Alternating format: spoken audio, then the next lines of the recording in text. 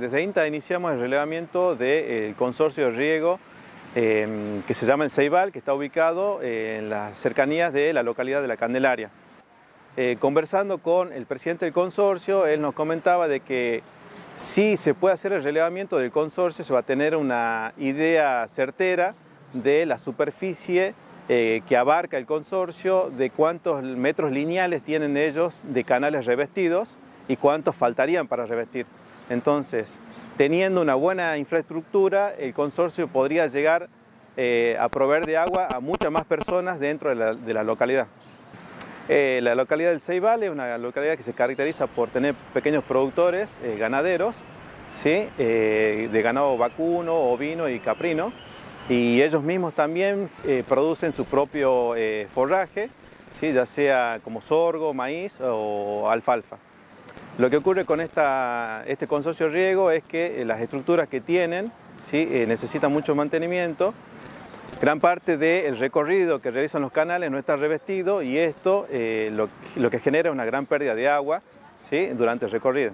El consorcio en total hasta ahora tenemos estimado unas mil hectáreas que podrían destinarse a riego, pero no se están destinando a riego debido a esto, ¿no? a, la, falta eh, de, eficiencia en el riego.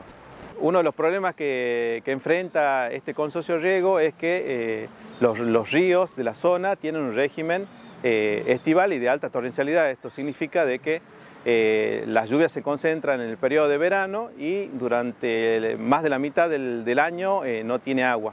¿sí? Entonces la falta de estructuras de almacenamiento del agua eh, impiden esto, ¿no? hacer la redistribución del agua durante la época de sequía.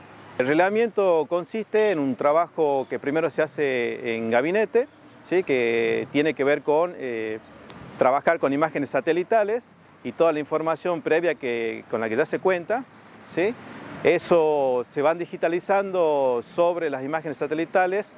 Eh, un trabajo, es un trabajo que, que, se hace en conjunto con personal del consorcio de riego y una vez que ya se tiene una estimación del área eh, a trabajar, se recorren los canales eh, con GPS en campo y se toman fotografías de todas las estructuras eh, con las que cuenta el consorcio, ya sea las alcantarillas y también las compuertas, y se va caracterizando el estado de conservación de cada una de ellas.